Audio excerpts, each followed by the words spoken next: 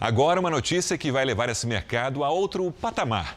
A Agência Nacional de Aviação Civil autorizou testes para a entrega de produtos com drones. Quem vai dar detalhes para a gente é o Luiz Fara Monteiro, direto de Brasília. Fara, boa noite. Esses testes vão durar quanto tempo, hein?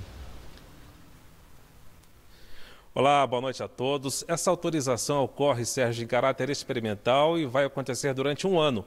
Foi a primeira certificação para uma operação como essa no país, emitida pela ANAC.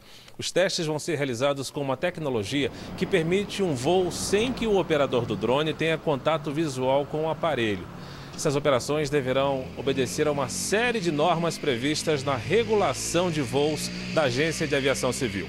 A empresa contemplada de Franca, no interior de São Paulo, é a primeira da América Latina a desenvolver e operar sistemas não tripulados para o transporte aéreo.